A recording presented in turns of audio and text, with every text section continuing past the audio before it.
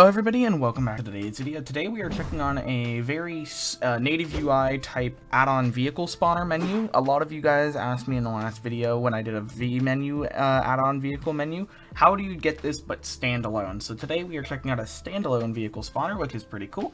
Um, so what you have to do to download this is just go to this page, link in the top of the description, and go ahead and click the download button. It will then go ahead and take you to the GitHub page, and it will say a, uh, the dependencies. Native UI Lua is one of them, so we're going to go ahead and open that up in a new tab so we can go ahead and download that. Um, it has an anti-crash system, uh, right, align, right align, so the chat isn't in the way, easier uh, configurable, all that good stuff. So what we're going to do is we're going to go ahead and download Native UI first. You're going to go ahead and click where it says code here, and go ahead and click download zip, or you can just go over here to the releases page and download the source code release, and you can see it's downloading the latest version here. Go ahead and open up this, and we're also going to go ahead and download the latest here by clicking the code and download zip and get the latest custom spawner. Open it up as well with WinZip, WinRAR, 7-zip, whatever you use to open up these files. So you can see we now have the native UI uh, and the add-on vehicle menu. We're then going to open up our server-data folder and go to our resources folder. And inside of here, what we're going to do is we're going to go in one folder inside this native UI download where you see the native UI. And we're just going to and drag that into our main folder. And if you already have it installed, you'll see replace, but normally you'll just drag it in and you'll have the native UI folder in here. We're also going to go ahead and download inside of here the custom spawner, and we're just going to drag that into the resources folder go back to the server.cfg file and edit it with Notepad or Notepad++. What you want to do is I always recommend putting uh, ensure native UI pretty much near the top of your list because a lot of resources use native UI. So for my case, I already have it here, but you're going to want to make sure it's above wherever you put ensure uh, the other folder name. And in this case, the other folder name is uh, custom spawner. So then you're going to do custom spawner. So make sure the native UI is loading before, otherwise you'll have errors. Alright, so we can now close out of these, and we're going to go check out the configure part for this resource, and you go down to where you have the custom spawner vehicle, and inside of the client.lua file, we can edit this with Notepad++, and it will say all of this cool stuff. So enter your server name here. Server name, I'm just going to put BGHD dev. You can do like the vehicle spawner and custom vehicles, name what you like for categorization. You have the different categories.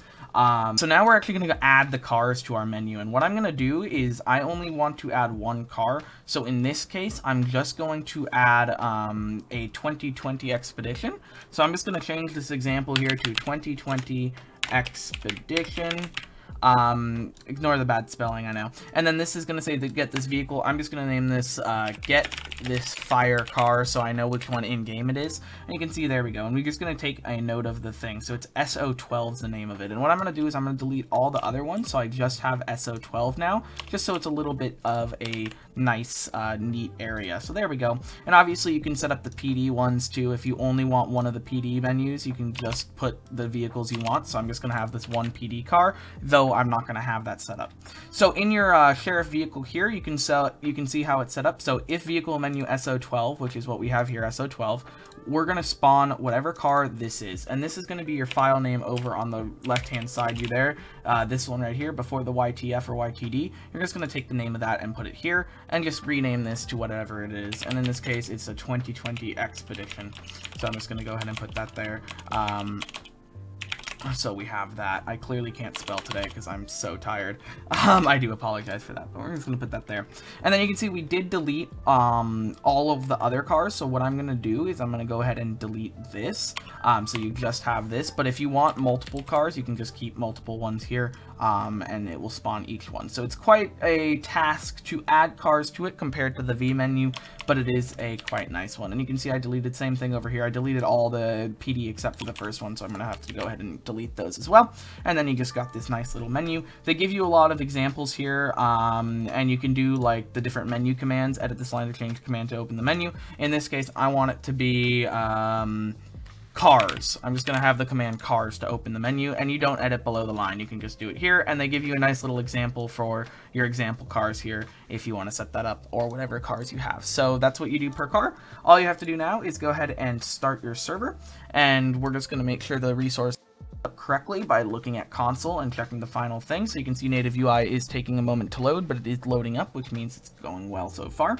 And then we're just going to look where we see started resource uh, custom spawner, and we'll know it has spawned up. And we're going to hop in game and check out, there we go, started resource custom spawner. So I'm now going to hop in game and check out if slash cars opens the menu we created. Alright, so we have hopped in game, and I do hope it finds it a little easier to see in game. I've changed kind of the resolution of the game and stuff, so hopefully it helps you. Anyway, if I type select cards, it goes ahead and open up our custom menu over there, with vehicle spawner. If we click enter, you can see we have a custom vehicles. You can add as many of these custom menus as you want, like we did in the configure file. And you can see we have the police, sheriff, and CHP, exactly what we set up in that configure file there. For police, we have the 2011 CVPI. Though we don't have any vehicle attached to it, it's not going to spawn anything. Same with the CHP, you can see coming soon. We don't actually have any vehicles attached to that. But in the side of the sheriff vehicle, you can see we have our Get This Fire car, the 2020 Expedition. If we go ahead and click enter, you can see it has spawned and we can close this menu and drive around just like normal. So we have successfully installed um, the resource the way it's supposed to be, configured it for one of our custom cars, um, and you just do this over and over again for as many cars as you wish to spawn in. So hopefully this did help you out. Um, if it did, remember to subscribe and like and comment and all those good things. Uh, we'll have an ESX tutorial hopefully this week. I've been working hard on getting it finished up and done. Um, I just haven't really had time to fully finish it up yet, but hopefully that comes soon. So thank you so much for spending the time to, with me today. I will see you in the next video. If you have suggestions for future FiveM videos or Minecraft videos, leave them down in the comments below. See you next time. Goodbye.